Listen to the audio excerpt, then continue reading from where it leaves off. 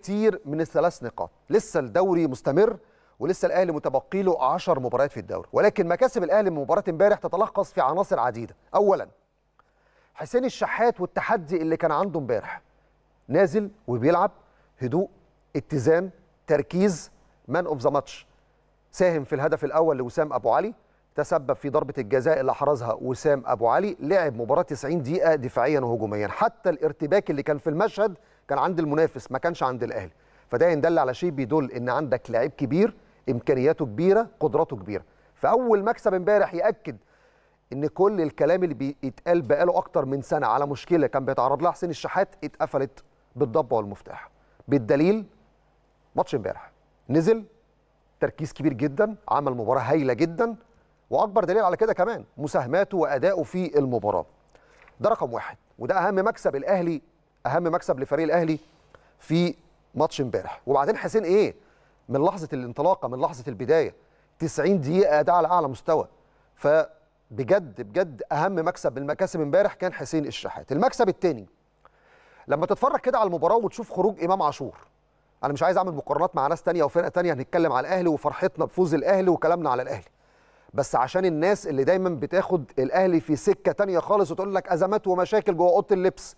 امبارح إمام عاشور متغير في الدقيقة 82 شوف لحظة إحراز قفشة للهدف. مين أول واحد على الدكة كان بيحتفل مع محمد مجدي قفشة؟ كان إمام عاشور.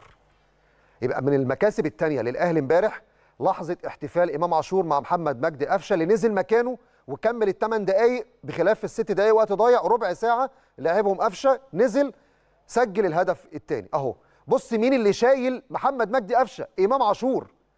بص مين اللي بيحتفل بمحمد مجدي قفشة؟ ده إمام عاشور. بص قفشة كمان بيشاور لجمهور النادي الأهلي بيقول لهم إيه؟ أنتوا على راسي من فوق والفرحة دي لكم أنتوا دي مكاسب على فكرة. اللي بيحب الكورة بجد يدور في تفاصيلها. ولما تدور في تفاصيلها لازم تطلع النقاط الإيجابية اللي شفناها واللقطات اللي ممكن تتكلم عليها في مباراة امبارح. اللي بيحتفل بهدف قفشة وفرحة قفشة إمام عاشور اللي خرج ونزل مكانه في الشوط الثاني في الدقيقة الثامنه أو في آخر 8 دقائق من المباراة. الحاجة الثالثه محمد مجدي قفشة الهدف بالنسبة له امبارح بعد كلام كتير جدا تعرض له في الفترة الأخيرة بمثابة كده إيه؟ لحظة فارقة يقول للناس أنا لسه موجود. أنا كل الكلام اللي كان بيتقال ما أثرش فيا. دايما تركيز هيكون مع الفريق. هدف مهم جدا. أنا بقول لكم مكسب امبارح مش الثلاث نقاط بس والفوز على بيراميدز. مكاسب الأهلي امبارح كانت بالجملة.